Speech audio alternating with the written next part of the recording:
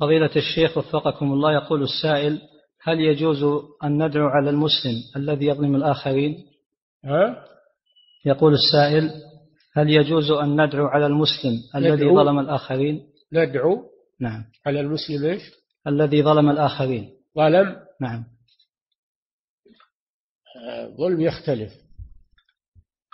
الظلم يختلف. ويدعى على الظالمين عموما أما المعين أما المعين فلا يدعى عليه إلا إذا كان ظلمه في الاعتداء على دينهم وعلى عقيدتهم وعلى إسلامهم فيدعى عليه. أما مسألة الأموال والأشياء هذه فالصبر فلا شك أن الصبر والدعاء له بالهداية أحسن. نعم.